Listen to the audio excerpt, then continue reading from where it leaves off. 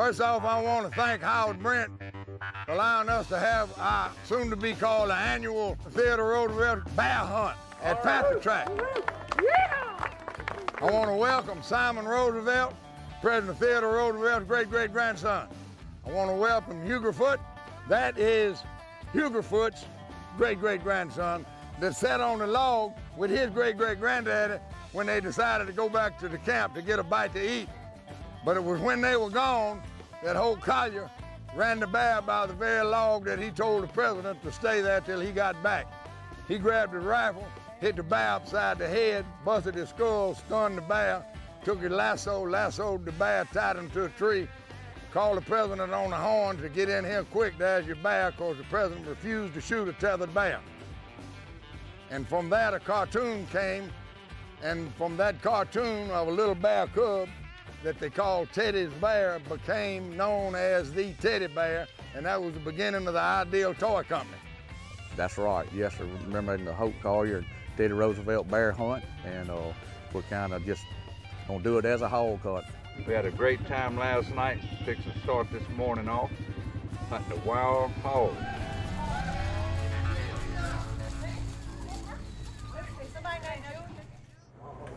This belonged to my grandfather, the first Harley Metcalf.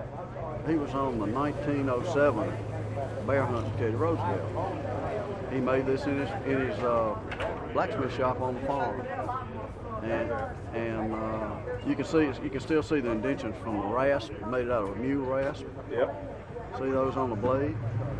And uh, the handle was about to come off, and so my father had a guy put another handle on, and he put two little dots of welding on there. And if you watch the Antiques Roadshow, that, that would be a no-no. Look at this thing. Look at the scrimshaw pig on the end. You ready for some action today, I just like to cut the steak at Doe's. We'll make it work. And about a little 60-pound sow will cook up just fine. Just Right. That one you can carry home with you. That sounds good. Oh, we had one not long ago, just put it out on the grill. Took, took all night to cook. Oh, that's right.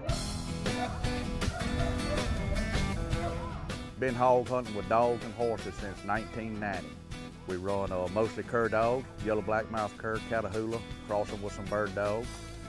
They're just bay dogs, but they will kick, you know, on smaller hogs. Plan today is we're gonna turn the dogs loose and head kind of southeast in there to some thicker country. The hogs like to be in the thickest, nastiest stuff you can find, and we plan on getting in there and trying to find some.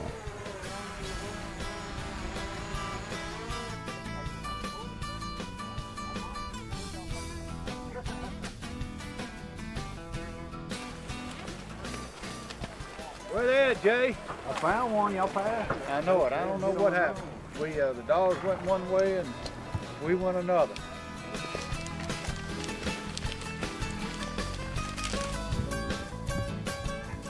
That's a hog or a dog? That's a hog. Yeah, that's a hog.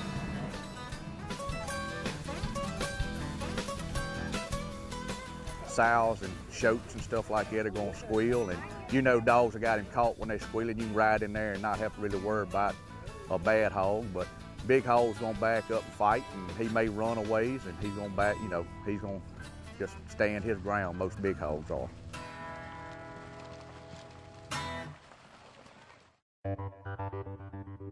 Hogs are nuisance animals, but this is fun. A lot of people get together. It's not like sitting on a deer stand where you, you know, having to be still and all. This is a group. You can look around here and see all the people, and it's just fun, you know. connecting with my ancestors is what it feels like, you know, and all of us together doing it is, is a profound thing, really.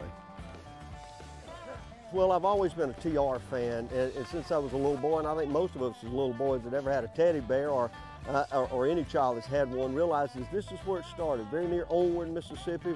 We're celebrating that great event we think is part of Mississippi's rich history and just enjoying the great outdoors today.